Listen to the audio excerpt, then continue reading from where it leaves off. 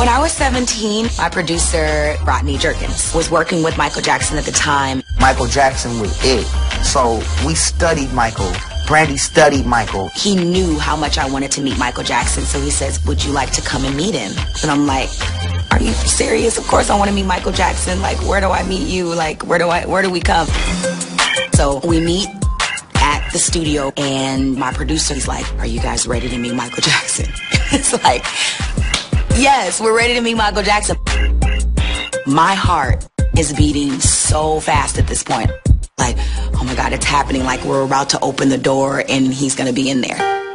When we first walked into the studio, we could kind of see Michael in the corner and we looked at each other like, oh, did you see him? And I'm looking at him like, oh my God, this is Michael Jackson. Michael Jackson in front of our face. And right then, Brandy went, oh my God, Michael. I fainted. blacked out, like seriously blacked out. I, I shook Michael's hand like, what's up, Mike? What's up, my dude? Brandy was still on the floor.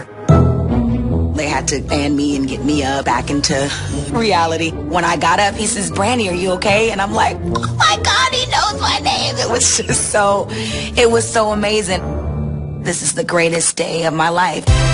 He was so, you know, nice and sweet and he gave me a hug and it was something I will never forget.